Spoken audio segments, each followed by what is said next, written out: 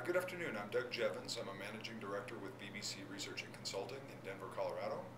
And I'm going to talk uh, this afternoon a bit about a study we've just completed on the employment and other economic benefits from advanced coal electric generation with carbon capture and storage. And Doug, give us give us a sense of, of the overall purpose of the study. Why why was this study conducted? Uh, the study was conducted for several reasons. Uh, there, has been uh, an increasing amount of study about uh, advanced coal electric generation with carbon capture and storage, but to date, uh, the prior studies have focused on technical aspects, uh, engineering requirements, cost, and, and items of that nature. No one to date has conducted a study regarding what the implications for the broader economy might be of constructing and operating these types of facilities. And, and what does the study estimate? Uh, the study looks at the jobs and other economic benefits that would be associated with constructing these types of plants, along with uh, carbon capture and storage infrastructure, and operating these plants on an ongoing basis. Uh-huh.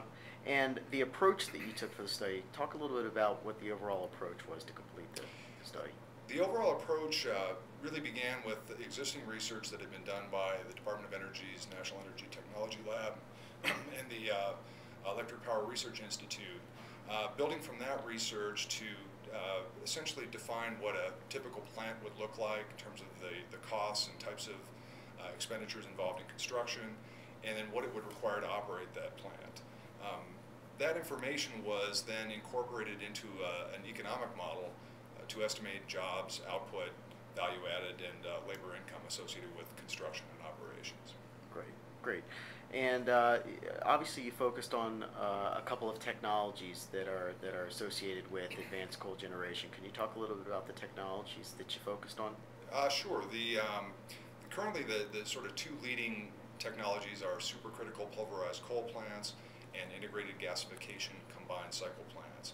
We look at both types of plants in this study, although the economic uh, the economic benefits from each type of plant are a little bit different. In aggregate, the, the total numbers don't vary that much depending on which technology is used. Great, great.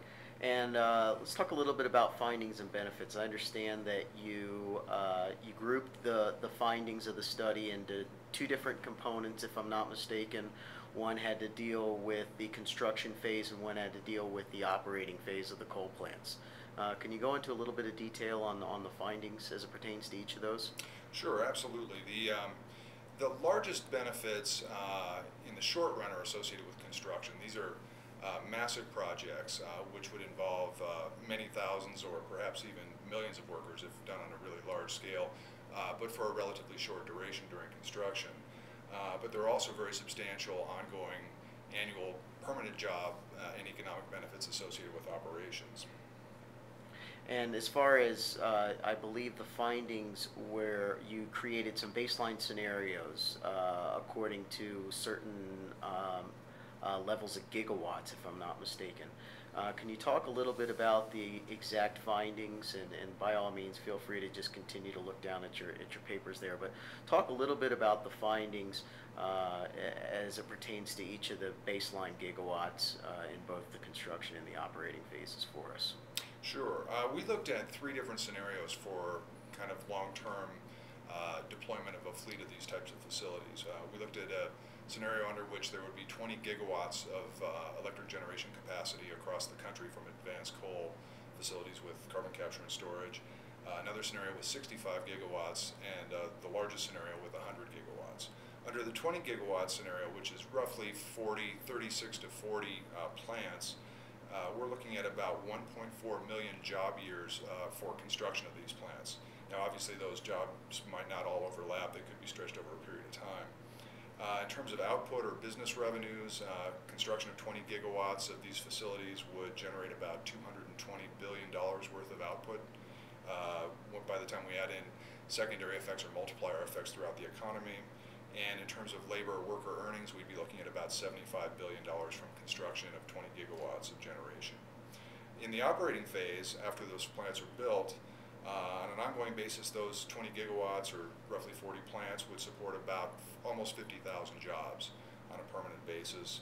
Uh, annual output in the economy would be about $11 billion from those plants, and worker earnings uh, annually would be about $3 billion. Um, that basically scales up under the other scenarios, and if we if we just shift to the largest scenario of 100 gigawatts, uh, construction of 100 gigawatts, which is nearly 200 plants across the country, we're looking at nearly 7 million total jobs, uh, including multiplier effects uh, throughout the economy, about $1.1 trillion in economic output from construction of those plants, and about $370 billion in labor earnings. Um, again, on an operating or ongoing uh, annual basis, 100 gigawatts of uh, advanced coal electric generation facilities with carbon capture and storage would support approximately 235,000 jobs throughout the economy, uh, labor earnings of about $16 billion a year, and about $55 billion in total economic output every year. Great, great.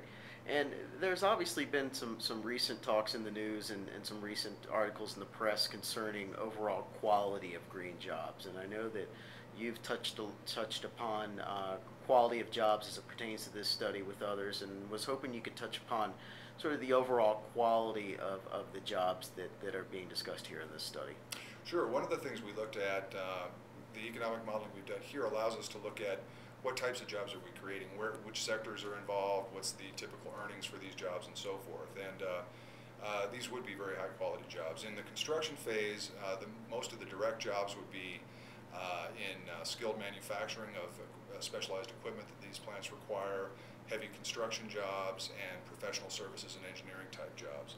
Uh, even when we include the, the multiplier effects, uh, we're looking at an average wage level of over $50,000 per job uh, across the economy during the construction phase. And in the operating phase, the average wage level is even higher. Uh, average wages of around $65,000 or so per job uh, for these ongoing permanent jobs associated with these facilities. Again, those are including the multiplier effects, which brings in a lot of retail, trade, and service jobs. The direct jobs uh, in the in the sectors that are primarily affected would have even higher wages than these. Yeah. Okay. Excellent. Anything else that you care to add that we may not have touched upon? Uh, no, I think that that does a good job of kind of summarizing the key findings. Uh, again, we encourage folks to take a look at the overall study, and uh, uh we're looking forward to uh, more widespread uh, review and distribution of the results. Great, and if anybody has any questions, I imagine that they could contact you maybe by an email address or a, or a phone number? They sure can. My email is uh, my last name, which is J-E-A-V-O-N-S at bbcresearch.com, and my telephone number is 303-321-2547, extension 223. Great. Doug, I appreciate your time with this. My pleasure. Thank you.